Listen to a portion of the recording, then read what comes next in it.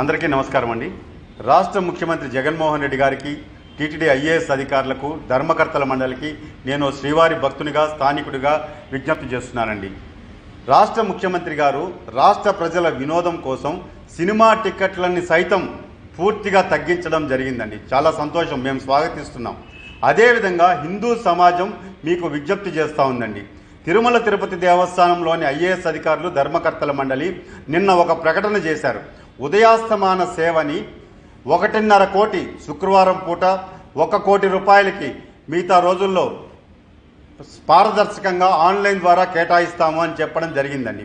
అసలు ఉదయాస్తమాన సేవ అంటే తిరుమల శ్రీవారి ఆలయంలో సూర్యోదయానికి ముందు అంటే సుప్రభాతం సేవతో ప్రారంభమయ్యి శ్రీవారికి ఏకాంత సేవ అండి సూర్యాస్తమయం తర్వాత జరిగే- జరిగే ఏకాంత సేవ పవలింపు సేవ వరకు సంవత్సరంలో ఒక ఐదు మంది కుటుంబ సభ్యులు స్వామివారిని ఒకరోజు దర్శించుకునే విధంగా ఈ సూర్యాస్త ఉదయాస్తమాన సేవని ప్రవేశపెట్టారండి.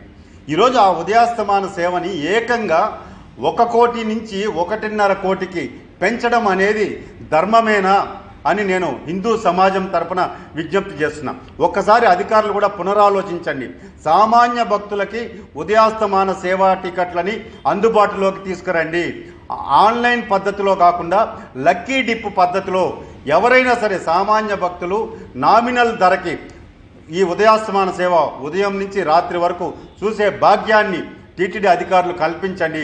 ముఖ్యమంత్రి గారు టీటీడీ అధికారులకు ఆదేశాలు ఇవ్వాలని చెప్పని నేను విజ్ఞప్తి చేస్తున్నాను. ఎందుకంటే శ్రీవారి దర్శనం అనేది అందని ద్రాక్షలాగా తయారవుతోందండి. ఈరోజు అలాంటిది ఉదయాస్తమాన సేవ ఐదు వందల ముప్పై యొక్క టికెట్లు మిగిలిపోయినాయి అని చెప్తున్నారు. నేను ఒకటే అడుగుతున్నాను. అసలు ఉదయాస్తమాన సేవ ప్రారంభం నాటి నుంచి అంటే మీరు దాదాపు ఈ సేవ ప్రారంభించి పంతొమ్మిది వందల ఎనభై ఒకటిలో ప్రారంభించారు. అప్పటి నుంచి ఇప్పటి వరకు ఎంతమందికి ఈ సేవా టికెట్లు మంజూరు చేశారు. అందులో ఐదు వందల ముప్పై ఒక్క టికెట్లు ఏ విధంగా మీకు మిగులుగా బయటకు వచ్చాయి? అంటే వాళ్ళు విదేశాల్లో ఉన్నారా? లేకపోతే రాకుండా స్వామివారి దర్శనానికి రాకలేక మీరు దాన్ని గుర్తించి ఈరోజు ఆన్లైన్లో అందుబాటులోకి తీసుకొస్తున్నారా అన్న విషయాన్ని కూడా మీరు బహిర్గతం చేయాలని చెప్పని నేను విజ్ఞప్తి చేస్తున్నానండి.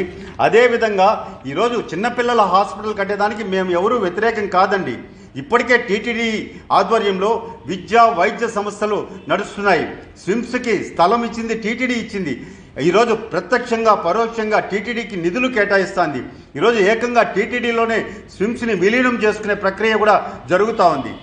ఇలా కాకుండా విద్యా సంస్థలు ఎస్వి యూనివర్సిటీ కానీ పద్మావతి మహిళా యూనివర్సిటీ కానీ అనేక విద్యా సంస్థల ద్వారా విద్యను అందిస్తున్నారు. వీటన్నిటిని కూడా మేము స్వాగతిస్తున్నాం. తిరుపతి అభివృద్ధిలో భాగస్వాములు అవుతున్నారు. మేమంతా కూడా శ్రీవారి భక్తులుగా అభినందిస్తున్నాం. కానీ శ్రీవారి సేవా టికెట్లని మీరు వ్యాపార దృక్పథంతో చూడటం ధర్మమేనా అని చెప్పి విజ్ఞప్తి చేస్తున్నానండి. దీని మీద దయచేసి మఠాధిపతులు పీఠాధిపతులు అదేవిధంగా ఈ శ్రీవారి భక్తులు ఉన్నటువంటి అనుమానాల్ని టీటీడీ ఐఏఎస్ అధికారులకి లేఖల ద్వారా రాయండి మెయిల్స్ పంపించండి. సానుకూలంగా స్పందించే వరకు మీరు ఈ విధంగా ప్రయత్నాలు చేసి వాళ్ళలో మార్పు తీసుకురావాలని చెప్పని నేను విజ్ఞప్తి చేస్తున్నానండి. ఎందుకంటే ఈరోజు మీరున్నారు. మీరు ఒక కోటి ఒకటిన్నర కోటి ఉదయాస్తమాన సేవకు పెట్టేసి ఈరోజు హాస్పిటల్ కోసం ఆరు వందల కోట్లు సమీకరించాలంటున్నారు. రేపు ఇంకొక ధర్మకర్తల మండలి వచ్చినప్పుడు వాళ్ళు ఏకంగా ఒకటిన్నర కోటి నుంచి ఐదు కోట్లు పది కోట్ల రూపాయలని పెంచేస్తారండి. అంటే ఈ విధంగా హిందూ సమాజం భయపడే విధంగా బాధపడే విధంగా ఆవేదన చెందే విధంగా శ్రీవారి దర్శనాన్ని మీరు వ్యాపారంతో ముడిపెట్టి లాభాపేక్షతో మీరు సేవా టికెట్లని అమ్మడం అనేది ఎంతవరకు సమంజసమండి? దయచేసి ఐఏఎస్ అధికారులు మీరు సానుకూలంగా భక్తుల నుంచి అభిప్రాయ సేకరణ చేయించి తీసుకొని ప్రతి సామాన్య భక్తుడికి కూడా అందుబాటులో ఉండే ధరని పెట్టి ఈ ఉదయాస్తమాన సేవ అందరికీ అందుబాటులోకి తీసుకురావాలని చెప్పని నేను స్థానికుడిగా విజ్ఞప్తి చేస్తున్నానండి.